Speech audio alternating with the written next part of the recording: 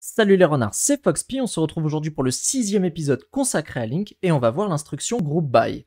Si vous ne la connaissez pas, c'est pas très grave, on va la voir ensemble avec une première requête et puis ensuite vous pourrez vous entraîner avec d'autres requêtes, d'autres exercices que je vais vous proposer. Nous avons ici une liste d'objets personnes, donc qui s'appelle personne tout en minuscule et au pluriel, comme ceci, vous voyez là il y a tous les constructeurs, alors je vais vous présenter cette classe vite fait. Donc nous avons ici cinq attributs, dont un dont nous allons pas nous servir, mais dont nous nous sommes servis dans les épisodes précédents, c'est Private Bull est ingénieur. Ça, on ne va pas s'y intéresser. En revanche, les quatre premiers attributs vont nous intéresser, donc le nom, le prénom, l'âge et le sexe. On va donc instancier ces personnes à partir de ce constructeur-ci, nom, prénom, âge, sexe. Nous avons la liste de ces personnes et comme première requête, ce que l'on va faire, c'est un groupe by sur le genre, donc le sexe, des personnes présentes dans la liste d'objets personnes. On peut débuter. var query sex est égal, donc au tout début rien ne va changer, ça sera comme avant, from p in person, et ensuite on va faire notre groupe by. Donc on va faire un groupe sur p by p.sex. Et là notre groupe by il est terminé, qu'est-ce qu'il va faire? Quand je vais sur ma query sex ici, vous pouvez voir que nous allons avoir un objet i énumérable, i grouping string person. Nous allons donc avoir deux interfaces énumérables. Il va donc falloir utiliser deux boucles pour pouvoir parcourir tous nos éléments. La première boucle parcourra le nombre de valeurs que peuvent prendre euh, la variable sexe, donc M majuscule ou F majuscule, et ensuite toutes les personnes, la collection de personnes qui est associée à un sexe donné. Ici, nous groupons les personnes par sexe, donc nous aurons tous les hommes d'un côté, toutes les femmes de l'autre, et pour chaque homme, nous allons avoir une collection de personnes, donc tous les hommes, et pour les femmes, nous allons avoir une collection de personnes, toutes les femmes. Alors regardons ça.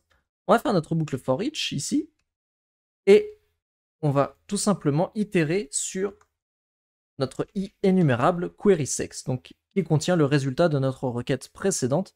Et ici, je vais l'appeler key clé, puisque nous allons avoir les clés en fait de nos groupes. Alors, pour bien que vous compreniez, je vais faire un console write line sur Ce qu'il faut comprendre, c'est que mon qui ici prendra la valeur à chaque tour de boucle d'un sexe. Donc, euh, le qui ici, pardon, l'attribut qui ici prendra la valeur d'un sexe. Et ensuite, à chaque sexe, on peut associer les personnes correspondantes. Donc, deuxième boucle for each. Et là, je peux mettre var person in et je peux afficher par exemple le nom et le prénom pour qu'on puisse voir un petit peu console write line, dollar, et là, personne.nom passe personne.prénom. Comme ceci. Donc regardons quel est le résultat de notre requête et de notre boucle imbriquée. Ce que l'on verra normalement, si tout a bien fonctionné, c'est le sexe, ensuite toutes les personnes associées à ce sexe, Ensuite, le second sexe, toutes les personnes associées à ce sexe, etc. etc. Donc là, il n'y a que deux sexes d'indiqués, hein, le cas de base, on va dire. Et euh, on devrait avoir toutes les personnes. Donc CTRL F5. Et là, vous voyez, donc on a le M, tous les hommes en dessous, le F, toutes les femmes en dessous. Donc vous pouvez regarder et comparer à droite, hein, nous avons bien ça. Donc nous avons groupé euh, les personnes par sexe, les hommes d'un côté, les femmes de l'autre. Donc voici une illustration de ce que représente le groupe by avec Link.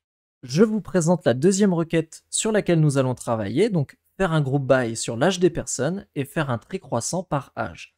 Avant de vous lancer dans cette requête et de vous exercer, essayez d'imaginer quel résultat ce groupe by va donner.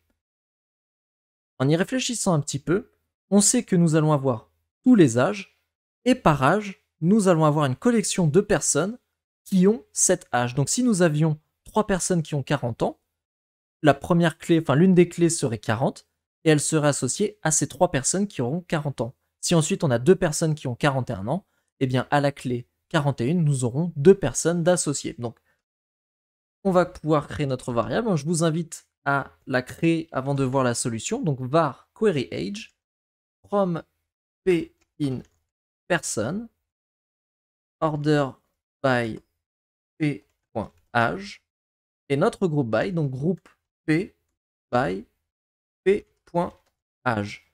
Là, pardon, la requête elle est terminée. Alors, je vais tout simplement copier-coller la boucle précédente puisque rien ne va fondamentalement changer. On pourrait peut-être juste ajouter H comme ça et ici trois petits espaces comme ça à chaque fois. Ça permet de voir les choses. J'enregistre et je lance. Donc on va attendre que ça charge. Le résultat de la deuxième requête sera en dessous les petits tirés ici, hein, qui est avec le console write line. Donc, ah, alors attendez, c'est pas bon parce que ici, ça fait deux fois sur query sex, or nous voulons query age. Je referme, je relance, petite erreur de ma part. Et là, nous avons donc ici le trait, donc ça veut dire que notre deuxième requête commence en dessous, donc à 6 ans, on n'a qu'une personne, 8 ans, une personne, 17, une personne, 18, une personne, etc. etc. Là, à H25, nous avons deux personnes. 31, nous avons deux personnes, etc. etc. Donc vous voyez, euh, j'espère que vous comprenez avec cette deuxième requête additionnée à la première, un petit peu l'essence du group by et ce à quoi il sert, puisque c'est quand même quelque chose de, de, très puissant et qui nous permet de catégoriser nos données de manière assez efficace. Troisième exercice, requête un petit peu plus complexe mais pas infaisable, faire un groupe by sur le prénom des personnes et afficher les noms de famille par prénom. On veut trier les prénoms par ordre croissant et on veut seulement récupérer les personnes majeures donc qui ont 18 ans ou plus. Toujours pareil, je vous invite à essayer d'imaginer le résultat que cela va donner, ensuite de vous exercer avant de regarder la solution. Moi, je vais coder la solution dès maintenant, donc je vous invite à mettre la vidéo en pause. Je vais l'appeler query prénom et elle sera égale. Alors ici, on va faire from p in person on va se débarrasser ici de notre condition récupérer les personnes majeures. Pour ça, on va utiliser la clause where, where p.age est supérieur ou égal à 18. Ensuite, on va pouvoir procéder à notre order by, faire le tri sur les prénoms. Order by p.prénom, et là on nous demande un, tri décroissant, donc on doit utiliser le mot-clé descending. Et enfin, notre groupe by, groupe p by p.prénom. Et là, notre requête, elle est terminée. On va pouvoir afficher le résultat. Je récupère ici la boucle imbriquée de la requête précédente. Comme ceci. Par contre, cette fois, je ne vais pas me faire avoir. On travaille sur query prénom. Et dans l'énoncé, on nous demande d'afficher seulement d'afficher seulement le nom, puisqu'en effet, ici, la clé, ça sera le prénom. Donc, s'il y a des personnes avec le même prénom mais un nom différent, et eh bien à chaque fois nous verrons le prénom et toutes les personnes qui ont ce prénom avec leur nom de famille. Donc CTRL F5 pour lancer cette requête. Et nous voyons ici, donc Thierry, il n'y a qu'une personne qui a ce prénom et son nom de famille Henri, Simone, Bavette, Ramsey, Garrett, etc., etc. Et là on peut voir que Joe, il y en a deux. Il y a Monsieur Kerr et Monsieur Beaver. Et on peut voir que Camille, il y en a trois, Monsieur Mille, Monsieur Cent et Monsieur Million. Donc j'espère que quand vous avez imaginé le résultat de la requête, c'était ce à quoi vous pensiez. J'espère également que vous avez réussi à faire cette requête par vous-même. Si jamais ça n'est pas le cas ou si vous avez encore besoin d'entraînement, eh bien on va passer tout simplement à l'exercice suivant. Quatrième exercice, cette fois-ci on va changer un petit peu, j'ai créé une liste de nombres.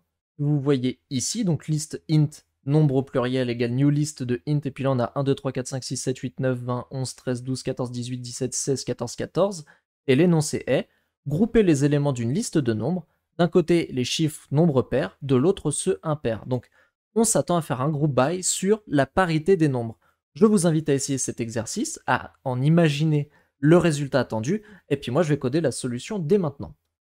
Ma requête, je vais l'appeler query pair, et elle sera égale à from n in nombre, donc jusque là c'est comme d'habitude la même histoire.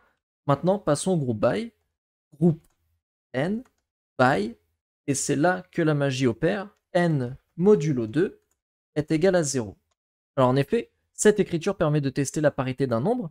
Le modulo donne le reste d'une division, donc si le reste est de 0, c'est que le nombre ici est pair, et si le reste est de 1, c'est que le nombre est impair. Donc là, nous faisons un groupe n by n modulo 2 est égal à 0. Ici, le égal, hein, ce n'est pas l'affectation, c'est la comparaison. Parfait, donc Ici, on va afficher notre boucle. Alors, je récupère la boucle for each de la requête précédente. For key in query pair. Alors là, votre avis, quel sera l'élément clé ici? Eh bien, ça sera la parité. Donc on va mettre ici parité. Si la parité vaut true, c'est que le nombre est pair. Si la parité vaut false, c'est que le nombre est impair.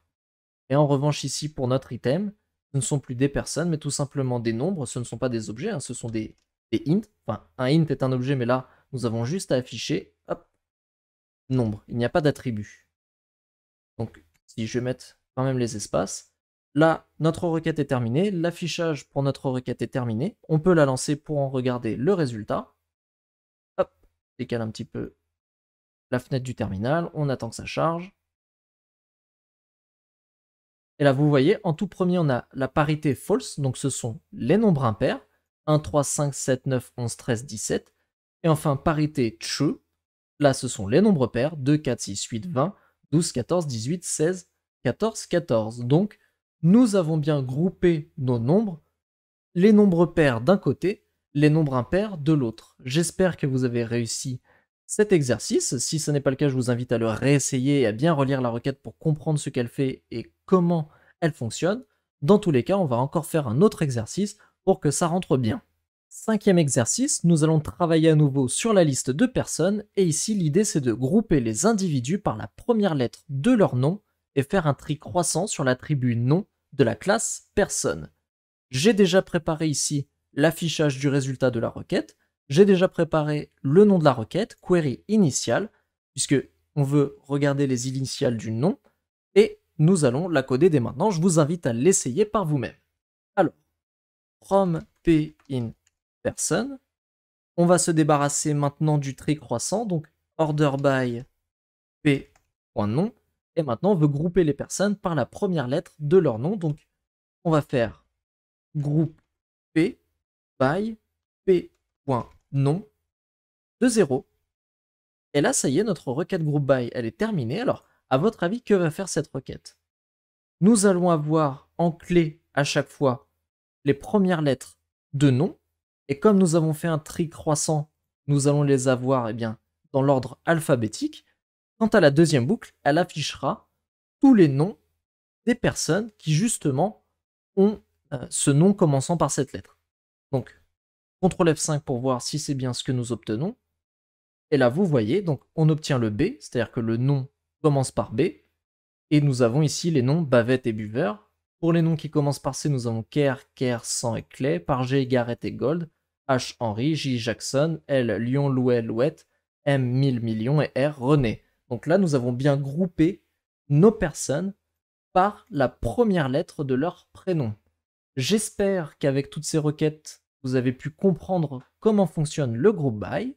Si jamais ce n'est pas le cas, eh bien vous pouvez me laisser un petit commentaire et puis je pourrai essayer de créer d'autres exercices pour que vous puissiez comprendre cette notion. Je vous remercie d'avoir regardé cet épisode jusqu'au bout. Pensez à le liker, à le commenter et à vous abonner à la chaîne si vous avez envie. On se retrouve à très bientôt.